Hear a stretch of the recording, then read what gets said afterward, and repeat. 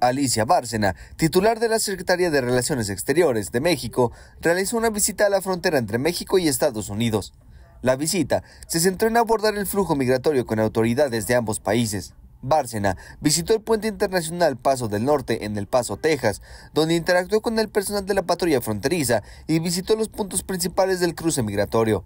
La Secretaría de Relaciones Exteriores enfatizó en sus redes sociales que la migración no es un problema a resolver, sino un fenómeno a gestionar. Esto requiere estrategias que no solo atiendan los temas fronterizos, sino también causas de origen o estructurales, a través de un esquema de responsabilidad compartida.